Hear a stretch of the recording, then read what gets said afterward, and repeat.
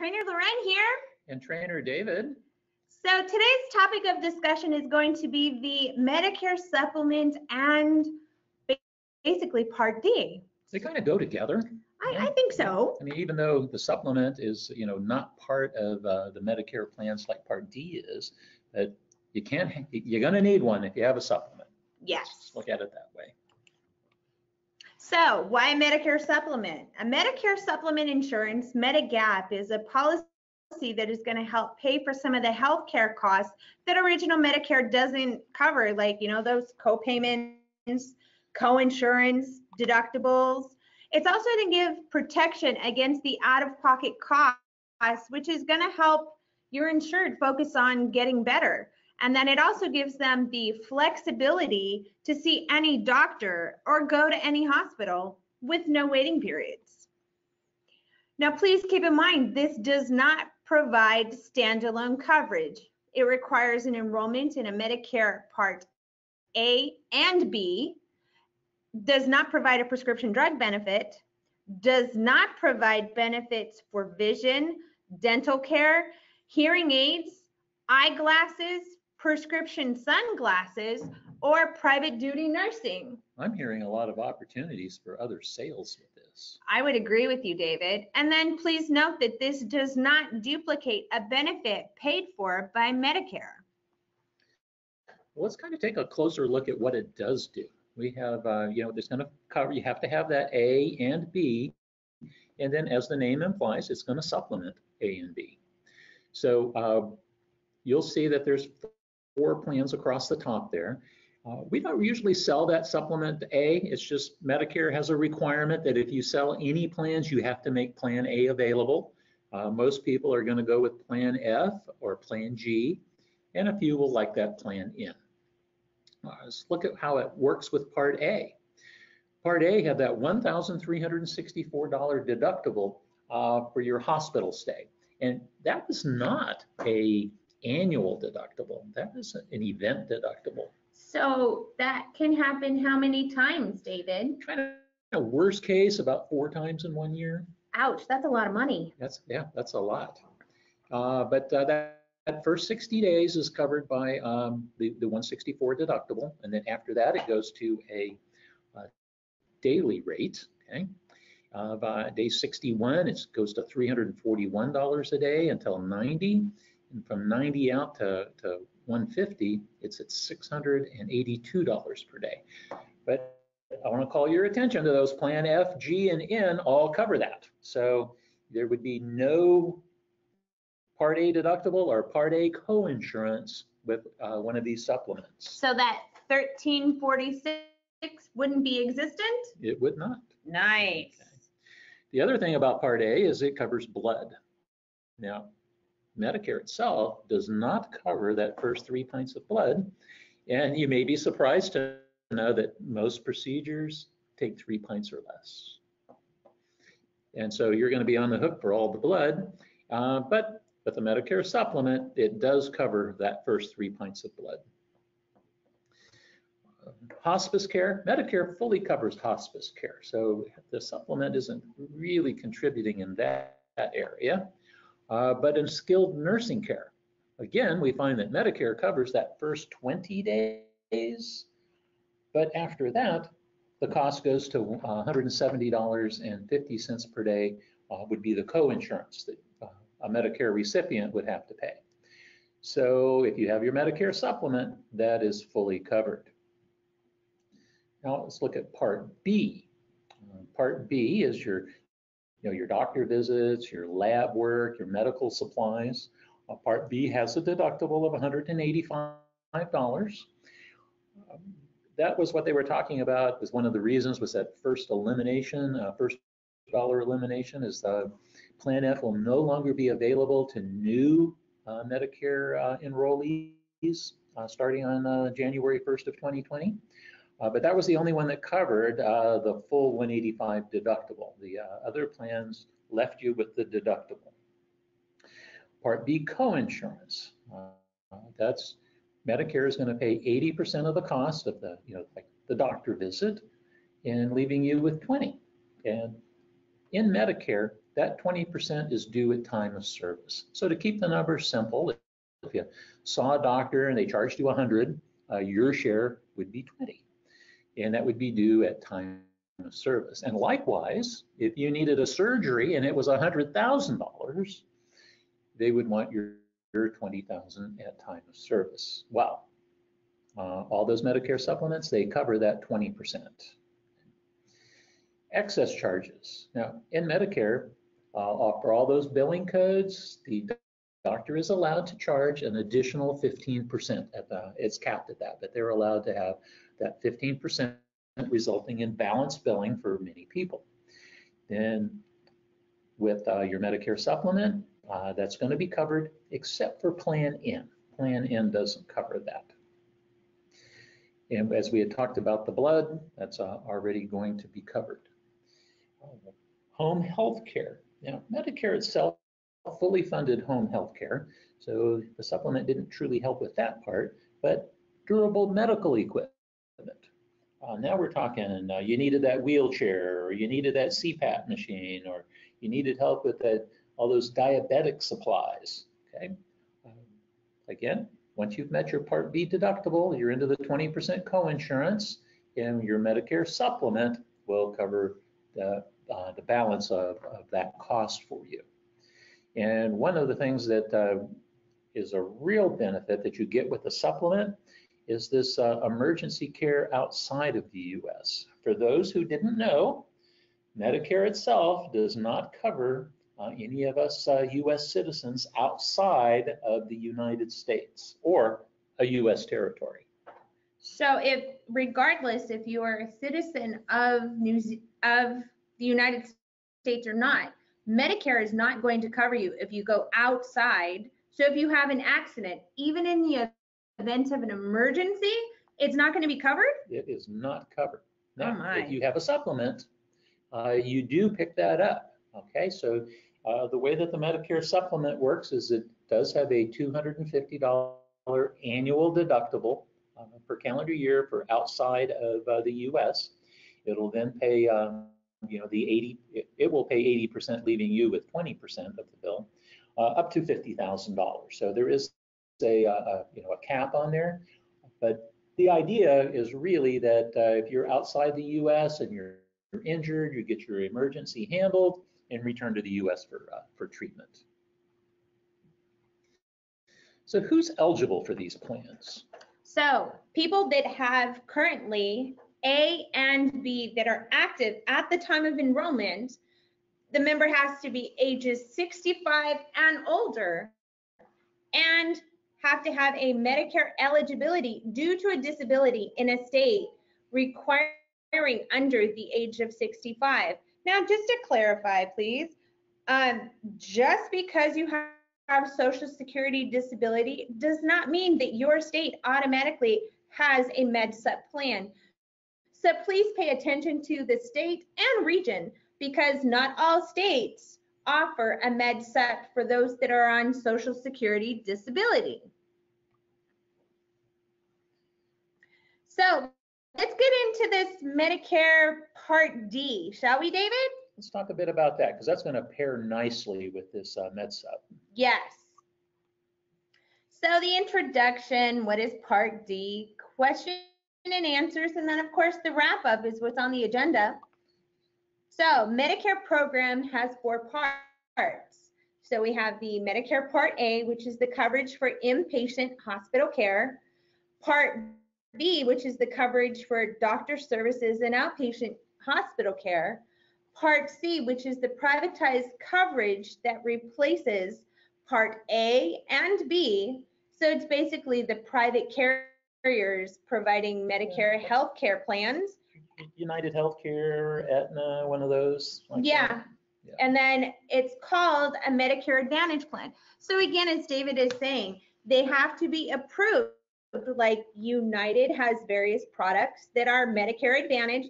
Now keep in mind, not all carriers sell the Medicare Advantage plans. And then we have the Part D, which is the privatized prescription drug coverage, allows Medicare beneficiaries to obtain prescription drug coverage from health carriers through a variety of plans. Now remember, the Medicare Part D is the newest addition to the Medicare program, which its inception was January 1 of 2006. Boy, they're quick to add to this program, aren't they, David? So, people that are under, or excuse me, at the age of 65 and above, people receiving Social Security disability income, that SSDI, beginning in their 25th month, people with end stage renal disease, ESRD, people in a few other scenarios, for example, Lou Gehrig's disease, ALS, and then we have the Centers for Medicare and Medicaid, and also known as CMS. So these are the government body that regulates the Medicare programs, beneficiaries, and the health carriers who offer the various forms of Medicare healthcare coverage. And then they also publish the CMS marketing guidelines, the fundamental document to ensure that Medicare beneficiaries are provided with accurate information. David and I were talking to a group of people last week, and we highly recommended this because it gave them the guidelines as to what they could and couldn't do as a Medicare agent. Correct, David? It does, and um, those are there's quite a few rules in there. I know we all know that no soliciting, but there's a, quite a few others that it goes with it. Yes. Forms of prescription drug coverage. Well, you can get your prescription drug coverage a couple of different ways. So um, you can have that Medicare Advantage plan with prescription drug coverage, and that was the one that was known as Part C, that combined Part A uh, and B with drug coverage for Part D. But since we're kind of following the supplement, uh, this one, we're going to be looking at the standalone Part D plan. Okay, they all work the same, whether it's included uh, with your, uh, you know, MA plan, or is it a standalone Part D? It's strictly going to be for the prescriptions. There's no medical coverage included in there. And it pairs up, uh, and this is one of those uh, keywords and tricky phrases. For Part D, it's you have to have Medicare and or A and or B, right? You don't have to have both of them. You can have just A, just B, or both, but you have to have one of those to get the uh, prescription drug plan.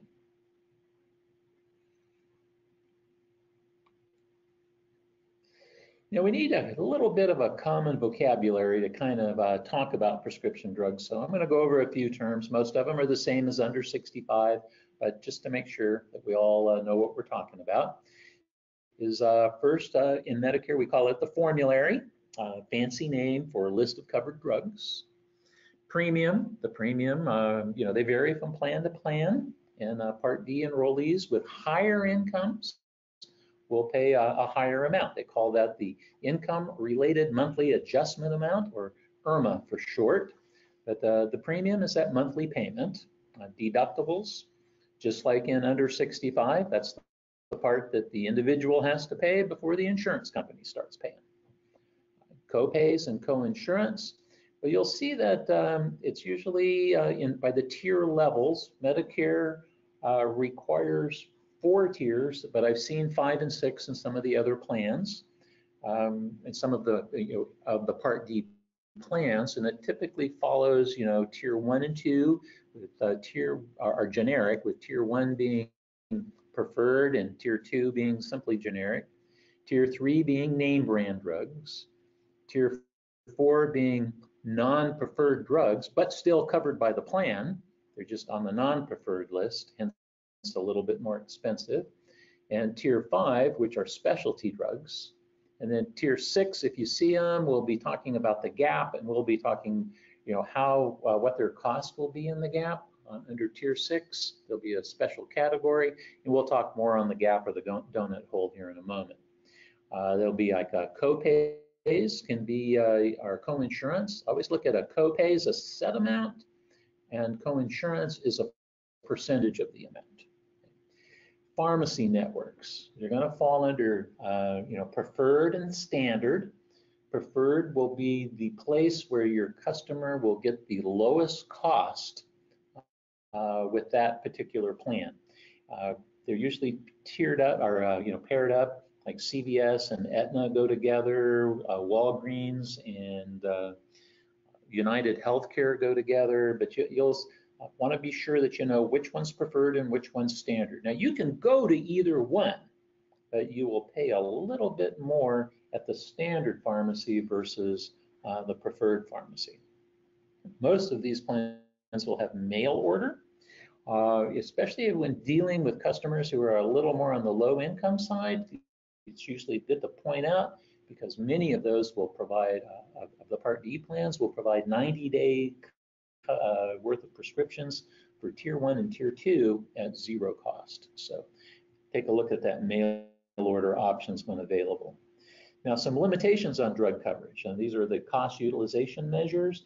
When you look up a drug for one of your Medicare um, uh, customers, if you see any of these little terms out there, QL, quantity limits, PA, prior authorization, or ST, meaning step therapy, uh, you're going to want your customer to know what that means and how it's going to affect them. Uh, quantity limits, mostly seen on uh, any of the opiates, especially these days, uh, where they may only be seven to 10 days worth at a time. And uh, that's all they can get. Then there's uh, the prior authorization. And with that one, I usually encourage people not to wait until that last moment uh, to fill that prescription. Those could be 28 to 48 hours before they will uh, provide the prescription there at the pharmacy. We've got to get permission back from the insurance company. And then there's step therapy. You'll see that on very expensive drugs that are covered in the formulary, where the uh, uh, insurance company is going to require that your customer and doctor work together to try less expensive alternatives uh, before they'll cover that more expensive drug, even if it is in their formulary. Uh, one last little note on formularies is there, there's some rules that it helps to understand is that for every therapeutic category of drug, there must be two in the formulary. So for those that have, uh, you know, uh, certain types of thing, uh, you know, needs, um, I always like to use insulin. It's always a good requirement.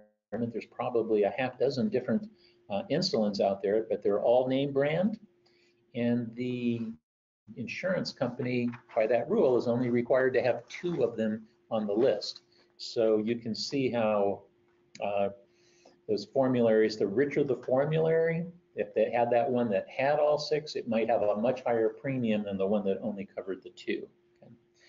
And then the coverage gap. Uh, some plans do offer lower payment copays while in the in the donut hole, uh, and we're going to really break that down and see how that works. So what we're going to look at here is uh, what's called the, uh, the, the, standard uh, benefit. And, and all the implants must adhere to at least this outline. They can be better than this, but they can't be anything less than what's covered here. And you'll see what I mean. Um, there's a deductible. Medicare's deductible is $415 the plan can have a lower deductible, but it could not have a higher deductible. So you can make it better, but this is the outline of what they must do. The initial coverage limit. Now, CMS is going to track that true cost of medications. This is not what your customer paid. This is what the actual drug cost. So you could have a drug that costs several hundred dollars, but the customer is making a, you know, a 25% uh, copay on. So they're going to be tracking that full price. So that's that initial coverage limit goes up to $3,820. That's where the gap begins because under initial coverage, customer was paying 25% of the cost of the drug, whether it was generic or name brand. In the gap, the cost coverage changed. Okay, and while in the gap, if it was a name brand, it's 25%, but if it's a generic, it's 37%. As they continue to track, though, that true out of pocket, uh, when it reaches $5,100, a couple of different things happen. Uh, your into the catastrophic coverage, and depending upon your income and whether you have subsidies, uh, exactly how you're going to be treated uh, can vary. Uh, for the standard benefit, where for most people, they're going to pay the greater of 5% of the cost or $3.40 for a generic or preferred drug, and then the greater of 5% uh, or $8.50 for all other drugs. So look at that as tiers one, two, and three would be the 5% or $3.40, and tiers four and five is going to be that 5% or $8.50%. Now, if they're one of the low income uh, certified people, you'll find that the 5% uh, requirement has gone away and there, theirs will be a lot lower. So I'm going to give you a kind of another picture to look at this and this graphic kind of gives you that donut appearance. And so during the first stage, uh, until you reach your deductible, you're paying 100%. Then you're paying 25% for your prescriptions until it reaches that true out-of-pocket of 3,820. Now you're in the gap. 25% for brand name drugs, 37% for generics, until true out-of-pocket reaches $5,100. And then in stage four, things change kind of depending upon your, um, your status. So let's kind of break that down a little bit on those statuses. So we have the extra help, also known as the low income subsidy. So LIS is a federal program administered by the Social Security Administration, also known as the SSA, for Medicare consumers who have limited income and resources. So please note, all of these people are automatically enrolled in the Medicaid for this particular plan. But if you have an insured that you think may qualify, it's always good that you apply for it. And you would help them a great deal because if they qualify, they're going to be getting assistance with their monthly premium or their yearly deductible, prescription co-insurance or co-payments. It could eliminate the Part D late penalty because they enrolled late, or um, provides coverage in that coverage gap or that donut hole that David was just talking about. So you'll see here that with the assistance to cover prescription drugs, low-income subsidy co-payments is a full benefit dual eligible. Now with the dual eligible, you can also hear them being referred to as a Medi-Medi or the dual eligible or LIS. So don't let that fool you, but this is for the institutionalized or persons receiving home and or community-based services so that HCBS, you'll note that it says zero dollar. Please note David and I stress do not ever tell an insured it's no cost. Or what was the other one we heard, David? Don't say free. That's it. So you always have to say a zero dollar payment or what was the other one? Our zero dollar copay. Yeah. Zero dollar copay. So never, ever, ever tell them it's free or it's no cost to you. We can't stress that enough. That's where we've seen some agents get in trouble, right, David? Yeah, that's that ABC. Always yes. be compliant. So the full benefit dual eligible with incomes equal or less than 100% of the federal poverty levels on a generic or a preferred drug can have a copay of up to a dollar and 25 cents per prescription. Or the other is up to $3.70 per prescription.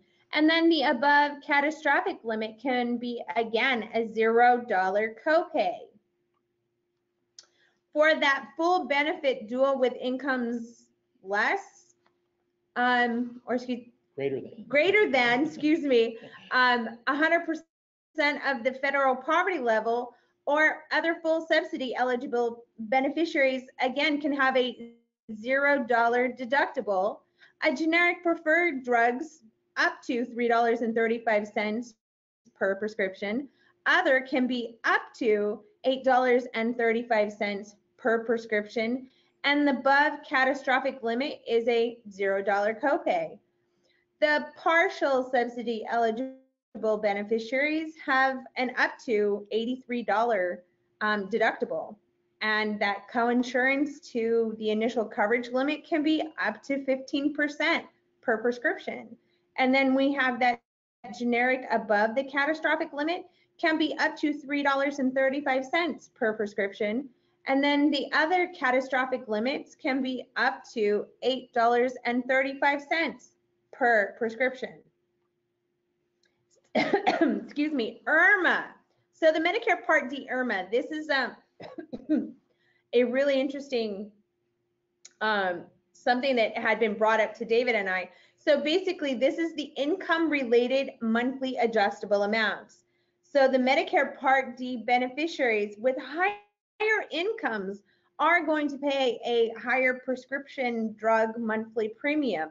What was that situation that was brought up to you, David? Well, a couple of them. Uh, one is the way they determine whether or not you're going to have Part D IRMAA is through a two-year look back.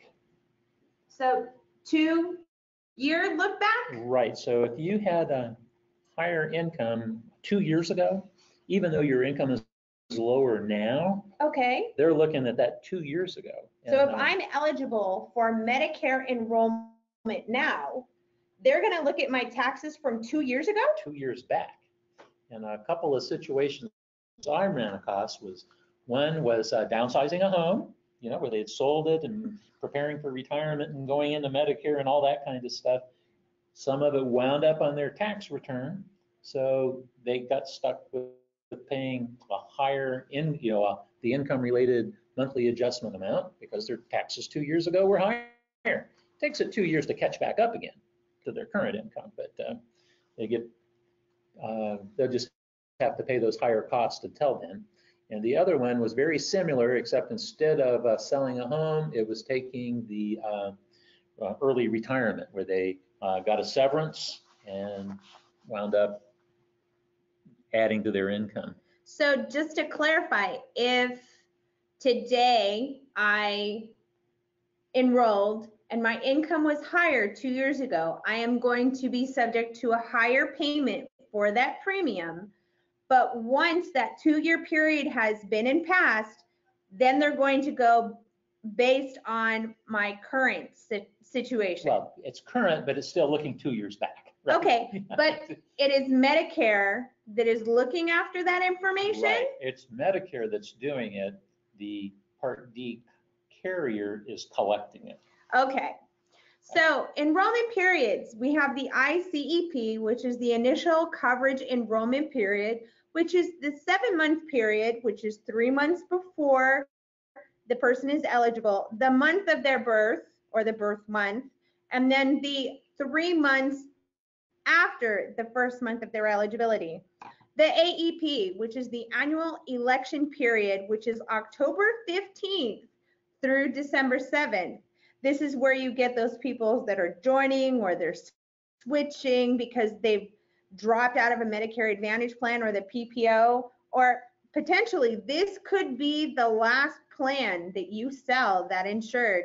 Now keep in mind, any and all of the policies that you- you're writing from October 15th through December 7th are going to be effective January 1 under this AEP. And then special election periods. This is a situation outside of the ICEP or the AEP in which certain Medicare beneficiaries can enroll in an MA or Part D plan. So these are those persons that have moved out of the plan service area, losing employer group health coverage, that low income subsidy, whether or the Medicaid eligibility, whether they've lost it or they've obtained it newly. And then, of course, the uh, special needs plan eligibility. David and I are going to go into more, more detail at a later date on that. So keep an eye out for We'll- it. We'll do a whole webinar on, on- just on SEPs. So let's talk about that uh, late enrollment penalty, David. Well, let me kind of break it down for you. Um, It's uh, equal to 1% of the national average for Part D premiums for every month in which he or she was delayed in their enrollment. and remains in effect for as long as an enrollee has a Medicare Part D plan. Well, basically, uh, it's, uh, you just multiply uh, 1%. uh, uh, We'll go back to 2017, the average was $35.63. So that means for every month that one did not have a Medicare Part D plan, there would be a 36 cent penalty. So uh, if you only went for a, a year or two, I think we calculated out at two years, you're looking at uh, about $8.64 would be your penalty. But remember, you're going to pay that for the rest of the time uh, you're in that Part D plan or any other Part D plan. So that's per month, per right? month, right? Oh, And only imagine if your, if your uh, enrollee has gone 10 or 20 years without a Part D. I mean, you can more than triple the cost of some of those plans out there. So that's pretty much uh, Part D and, uh, you know, kind of the, the do's and don'ts and, uh, and how it works. So if you do have any questions or if we can be of any, any help for you, be sure to just send us an email at the training box. That is literally covered, uh, you know, pretty much uh, throughout the week. And then with it coming into open enrollment, we have been um, looking at the box and the questions over the weekend too, in some cases. Now, if you guys have questions or you don't know if this is the right coverage for your insured, don't hesitate. Email that box. David and I are here to help you and support you so you can focus on doing what you do best, which is selling, right, David? That's right. Let us be the, the back office and take care of some of that uh, extra load for you. All right, guys, so just we're gonna uh, sign off for now and thank you for spending part of your day with us. We appreciate it. So we hope you have a good remainder of your day.